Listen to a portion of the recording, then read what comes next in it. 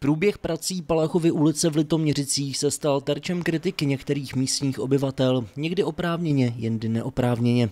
Skutečností zůstává, že svým rozsahem jde o nejvýznamnější a stavebně nejnáročnější akci posledních let realizovanou městem Litoměřice. Dokončena má být na konci srpna letošního roku. Celkově se jedná o tři stavebně rozsáhlé a náročné akce realizované rozdílnými subjekty při jedněch výkopových pracích, a to rekonstrukce 100 let staré kanalizace, vodovodu a samotná revitalizace Palachovy ulice prováděná městem. Veškeré s tím spojené práce byly časově vytyčeny na jeden a půl roku. Ukončena byla v souladu s projektem první etapa. K převzetí investorem ale nedošlo a stane se tak až po odstranění některých nedostatků. Jedním z nich je například uspořádání odpočinkové zóny a záhonu u kina. Dodavatel dodal něco jiného, než bylo objednáno. Jinými slovy, eh, jiný rozměr lavičky, jiný rozměr záhonu, takže v rámci řízení a pokračování stavby jsme požádali dodavatele, aby dodržel projektovou dokumentaci a předělal to.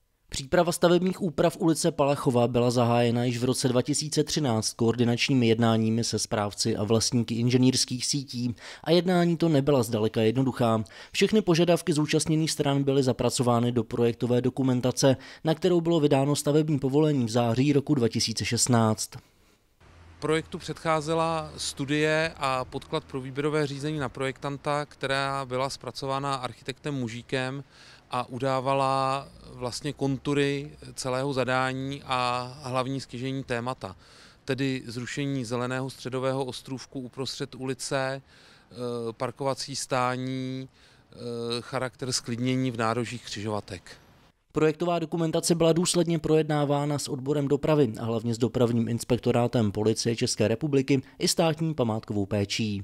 Projektová dokumentace byla schválena příslušnými orgány, včetně Policie České republiky. Proběhlo mnoho jednání přímo na místě stavby, kde mimo jiné došlo i na otázku způsobu parkování. Všechny dotčené osoby v místě souhlasily s návrhem policie z důvodu úspory parkovacích míst a bezpečnosti silničního provozu. Složitým procesem bylo rovněž financování samotné rekonstrukce celé ulice. Původně vyčíslená částka na zhruba 40 milionů korun byla nakonec soutěží ponížena na 22 milionů. Dotační tituly na opravy místních komunikací a rekonstrukce ale prakticky neexistují. Přitom bylo zřejmé, že přechody na všech křižovatkách neodpovídaly platným normám a stala se zde řada dopravních nehod. Nakonec právě na zvýšení bezpečnosti se městu podařilo dotaci získat. Proto je celá rekonstrukce pojata v duchu sdílení prostoru vedoucímu ke sklidní zklidnění a zpomalení provozu. Sám jsem v této ulici rok bydlel, vlastně v místě probíhající druhé etapy. E, myslím si, že určitě došlo ke zlepšení v rámci prostoru před kinem, který nyní vidíme a došlo i ke zlepšení v rámci prostoru křižovatek, e, ať už Křižíkovi nebo Palackého ulice, kdy rozlehlé plochy křižovatek, které byly převážně pro vozidla, jsou nyní i pro chodce a zvýšené křižovatkové plochy by měly autům dát najevo, že se nachází v prostoru smíšeném, nejenom v silnici. Tato opatření jsou pojata značně inovativně a úzce s nimi souvisí i způsob parkování. Šikmá parkovací stání pro automobily byla navržena k zajíždění souváním. Podle dopravních expertů jde o nový trend, který vede ke zvýšení bezpečnosti. Parkování eh, couváním je dáno úzusem eh, s dopravním inspektorátem policie ČR, kdy před lety bylo požadováno jako novinka a v podstatě se k tomu přistupuje až do dnešní doby. Eh, důvod je zřejmý v tom, že dochází k jednoduššímu vyjetí ze stání. Eh, tady máme příklad, kdy jedno vozidlo stojí čelem chodníku a při vycouvání vlastně nevidíte více než tři čtvrtiny svého vozidla ven a spoleháte se na to, že vám ostatní dají přednost.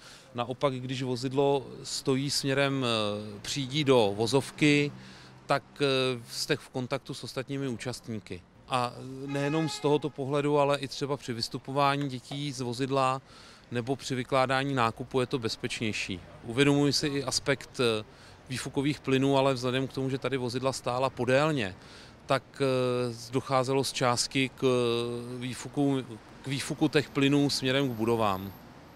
Šikmá parkovací stání pro zajíždění couváním jsou nejen bezpečnější, ale již deset let bezproblémově fungují v Litoměřicích v ulicích Tylova a Eliášova. I z hlediska integrovaného záchranného systému se tento systém využívá ve velkých firmách, u nás i v Evropě dokonce povinně. Automobily opustí bezpečně svá parkovací místa a hlavně mnohem rychleji. Na druhou stranu ovšem upozornění občanů, že vegetační ostrůvky určené pro výsadbu stromů ukrajují prostor z parkovacích míst je zcela oprávněné. Tohleto nešťastné řešení, kdy skutečně eh, ten strom zasahuje do jednoho parkovacího místa, i když to bylo myšleno na malá auta, opravdu se to nepovedlo. Eh, rádi bychom to předělali tak, aby vždycky ten strom eh, zasahoval z části do jednoho a z části do druhého parkovacího místa a tím pádem vznikne více prostoru a nemělo by docházet k tomu, že takhle to bude narušené a vlastně se ta zeleň nebude ničit. A zrovna dostatek zeleně byl jedním z dalších hlavních požadavků města při návrhu rekonstrukce oblasti. Zde se ovšem naráží na enormní zasíťování plochy. Je velká potíž v tom, že momentálně sítě vedou v celé ulici a najít vhodné místo pro výsadbu stromů je velice obtížné. Jsou tady ochranná pásma, takže jsme se vešli s tou troškou stromů, abychom alespoň uspokojili vlastně naše potřeby eh, ozelenění města. Řešení kvality a způsob osázení zeleně v rekonstruované ulici je dalším důkazem toho, že stavba nebyla převzata a město nadále spolu se zhotovitelem hledá nejlepší řešení. V současné době eh, se jedná stále o stavbu, eh, není to převzaté, to znamená s dodavatelem eh, vyjednáváme způsob osázení této stromové aleje a pravděpodobně dojde k výměně a k výsadbě nových vhodnějších druhů.